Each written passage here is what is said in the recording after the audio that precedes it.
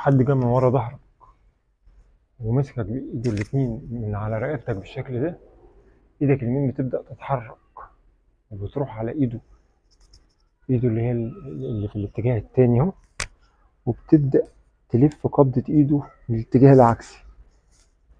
أهو. فيها الاتجاه العكسي أهو بعد كده بتاخد دماغه بتعمل ضغط قوي على مفصل الرست بالشكل ده. كده بتعجزه بشكل نهائي.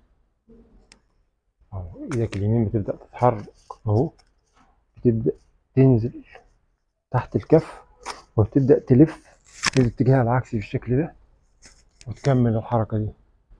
إيدك الشمال ورا رقبته وإيدك اليمين عاملة ضغط على مفصل الرست بالشكل ده. كده مسكته حركة آه، أو مسكة تعجيزية مستحيل يعرف يتحرك أو يتخلص منها. لأنك ضغطة قوية لتحت شوية هتعمل له أو هتسبب له مشاكل كتير. أول ما بتتمسك المسكة دي إيدك بتبدأ تتحرك على طول أهو بشكل سريع وتمسك من المنطقة دي. صوابعك بتدخل تحت الكف وبتبدأ تلف الاتجاه العكسي بالشكل ده. أهو. إيدك الشمال بتاخد دماغه لتحت وايدك اليمين بتعمل ضغط قوي على إيه؟ على مفصل الريست بالشكل ده.